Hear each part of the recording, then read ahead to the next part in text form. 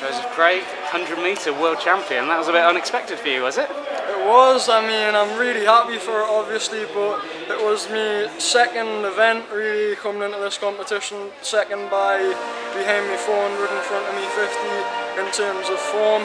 I'm not really a sprinting type of athlete, you know, I'm more of a long distancer. It takes us a while to get into the race, you know.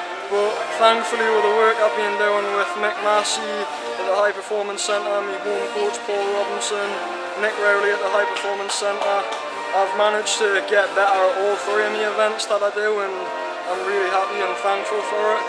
And as well having a great training partner like Jonathan Fox beside us has really pushed us on. Obviously, you had the silver in the 53 with a PB. That must have told you that you were there or thereabouts. Did you feel like a, a 61 was within you for tonight? Well, yes, I've, I feel I can do anything if I put my mind to it, so for that reason I'm a bit disappointed I didn't get like a 60 or a 59 in the 100, but you know, I've got the gold and all I can do is improve from this point on and what with great help from the people I've mentioned before, I'll be able to do that. You seem to have a lot of confidence as well, even though this is your first World Champs.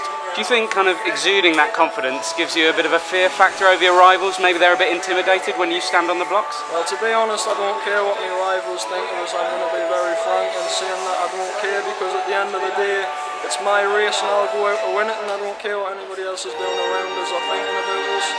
You just talk me through that finish as well. You you were in first at the turn and then you slipped down to second. You must have seen Matt Levy just slip ahead of you, but then you hauled him back in again. Yes, I did. He, he was off like a bullet in that second 50. I mean, I don't know how he did it, and all congratulations to him. And I don't know how I pulled it back because with 75 metres to go, my arms felt like they had fell off, my legs felt like they were dead already.